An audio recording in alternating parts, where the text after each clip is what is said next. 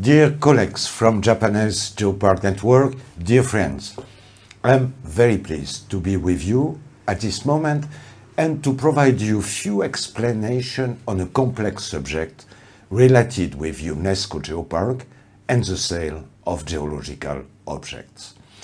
To understand better this relation, I think that the best should be to come back in the geopark history and on the origin of geopark concepts. The main founder of the geopark concept were previously in the years 80s major players at the international level deeply involved in taking into account the protection of geological site. It was a new, long and difficult fight. At the European level, France has played a pioneering role since 1978 by modifying its legislation to allow the creation of geological reserves.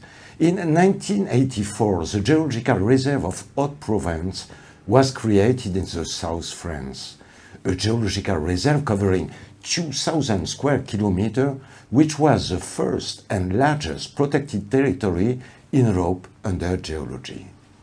At that time, the trade in mineral and fossil was flourishing, and thousands of geological sites were regularly looted.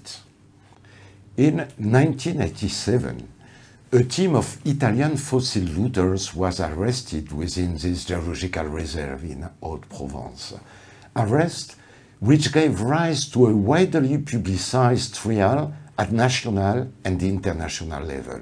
Media coverage that led for the public to an understanding and acceptance of the need to protect geological sites.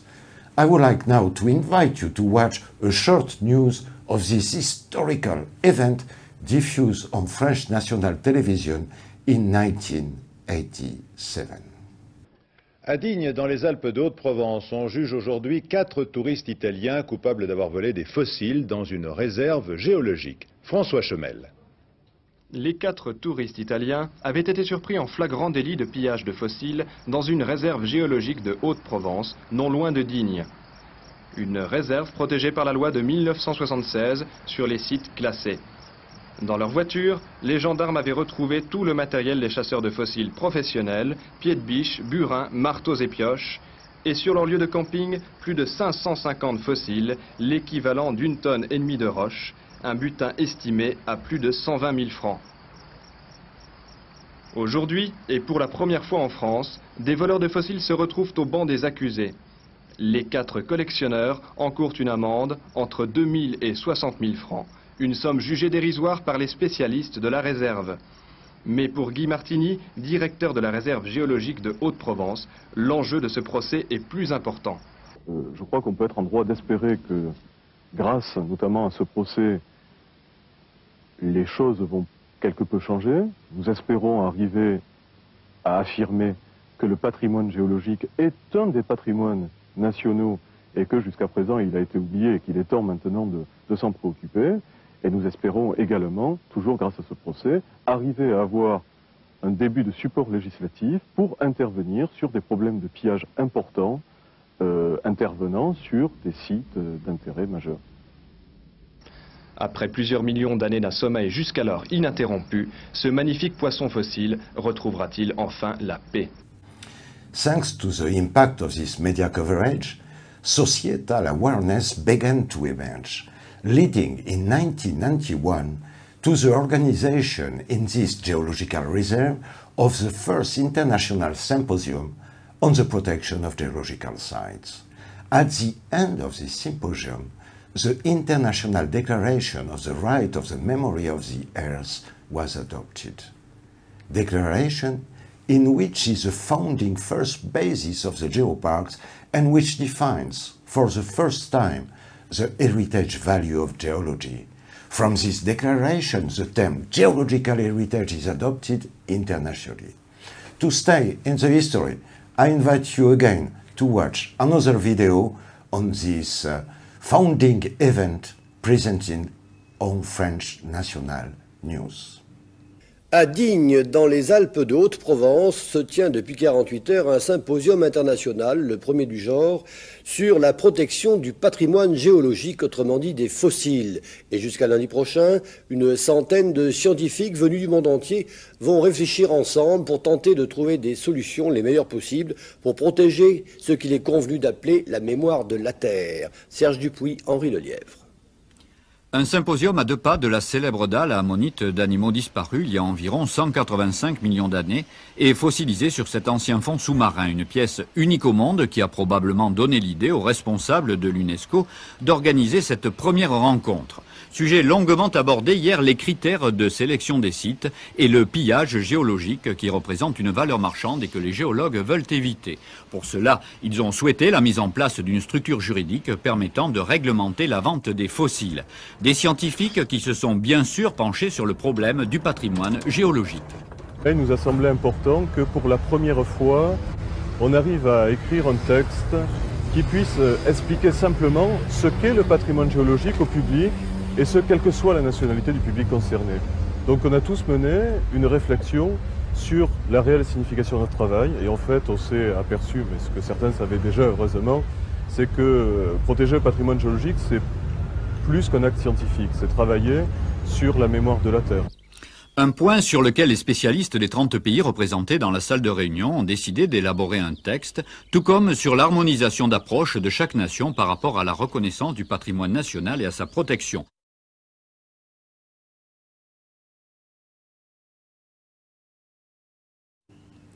From this date, international awareness of the importance of geological heritage and the need to prohibit the sale of geological ob objects, a source of looting and disappearance of geological sites, has developed. The geopark concept took shape in 1996 and the first geoparks were created in Europe in 2000 under the auspices of UNESCO.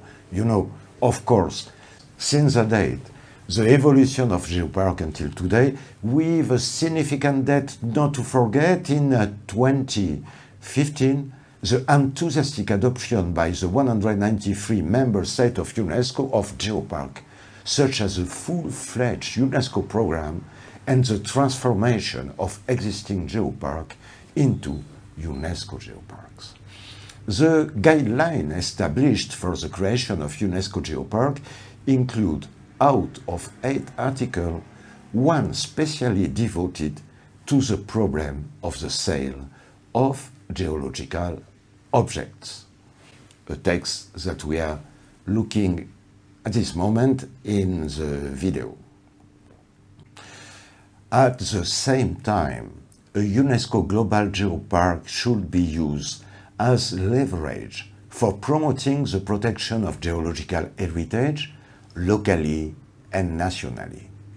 The management body must not participate directly in the sale of geological objects such as fossils, mineral, polished rocks and ornamental rocks of the type normally found in so-called rock shop within the UNESCO Global Geopark and should actively discourage unsustainable trade in geological material.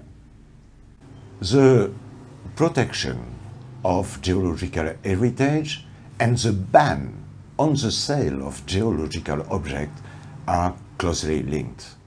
It's contradictory to conceive and explain that a geological site memory of the earth must be protected and, on the other hand, to promote museum or stores in which geological pieces are sold. As specified in the UNESCO guidelines, a UNESCO Global Geopark should be used as leverage for promoting the protection of geological heritage locally and nationally. It is obvious that if the trade in geological objects is authorized by national legislation, the UNESCO Geopark cannot prohibit this type of trade on its territory. In this case, the UNESCO Geopark must develop certain actions. For example, establish an open dialogue with dealers in geological objects and try to find an alternative economic system. In many cases, training in casting techniques and substituting the sales of original fossil with high quality casting has yielded excellent results.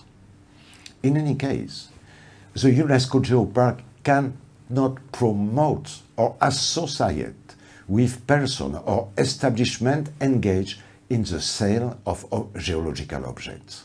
These people cannot be part of the UNESCO Geopark management structure and cannot benefit from any publicity or relationship with UNESCO Geoparks. They cannot appear in any geopark promotional document. In the event that in a UNESCO Geopark a private museum without any relationship with the UNESCO Geopark proceeds to the sale of geological objects in accordance with national legislation, various actions can be considered. First, check that this establishment has no link with the UNESCO Geopark and that in no case this establishment is present in the promotional promotional documents of the UNESCO Geopark in its website, leaflets, and so on. Check that this establishment does not use the name of the UNESCO Geopark to develop its own advertising and promote itself. But more important is to create a dialogue with the owner of this establishment to explain to him the conceptual incompatibility of his activity with the mission of conservation of the territory in which he is located.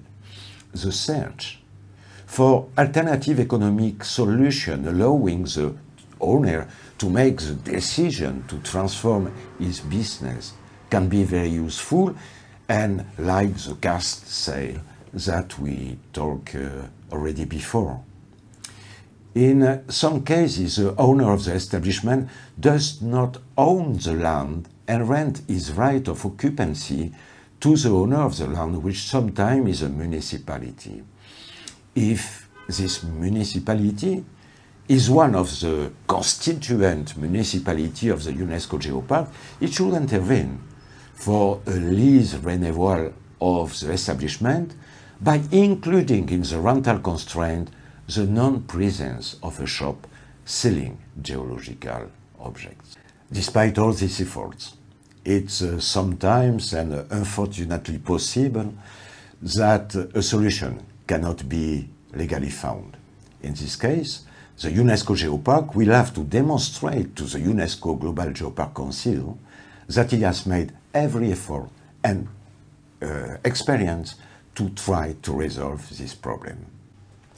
In a very rare case, and as indicated in uh, Article 7 of the UNESCO Geopark Guidelines, and I am reading, were clearly justified as a responsible activity and as a part of delivering the most effective and sustainable means of site management, it may permit sustainable collective of geological material for scientific and educational purpose from naturally renewable sites within the UNESCO Global Geopark.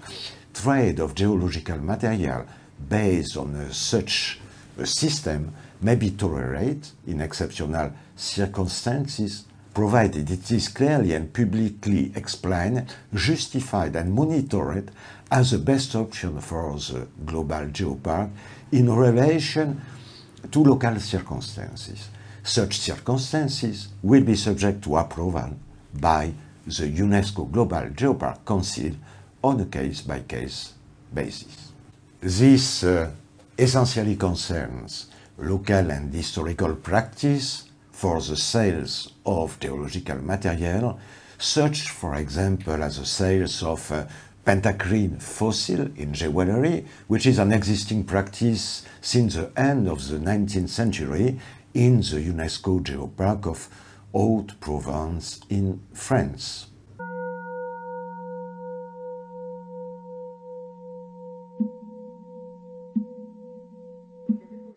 L'histoire de l'étoile de Saint-Vincent remonte loin. La pantacrine, un animal de la famille des oursins, vivait dans les mers il y a 200 millions d'années et plus. Des articles isolés en forme d'étoile à cinq branches constituent la tige de l'animal. Ces articles qu'on appellera bien plus tard les étoiles de Saint-Vincent. Ce célèbre fossile est très présent autour de Digne sur le territoire du géoparc. Il a été perçu différemment au fil des ans, objet d'étude pour les géologues, talisman pour les bergers, bijou pour les artisans. C'est au début du 19e siècle qu'un bijoutier dinois, Antoine Colombe, décide d'utiliser ce fossile pour la conception de bijoux. Jusqu'au milieu du XXe siècle, la production est continue, bagues, bracelets, colliers, mais aussi peignes, broches ou boîtes. Dans les années 1960, quasiment toute la fabrication des étoiles de Saint-Vincent s'arrête. Pour reprendre, voilà trois ans. Or the manufacture of objects from quarry waste as in the UNESCO Geopark Geomon in the United Kingdom. In the case of historical practice, an explanatory and detailed dossier must be established and presented to the decision of the UNESCO Global Geopark Council. I hope that uh, now you have more elements to understand the importance of the problem of uh, sales from a geological object within UNESCO Geopark. I would like now, and in conclusion, to congratulate you, congratulate the whole UNESCO Geopark Japanese network for its excellent work and his great contribution and participation within the global geopark network and the development of UNESCO Geopark in Japan and in the world. I wish you a fruitful meeting and thank you very much for your attention.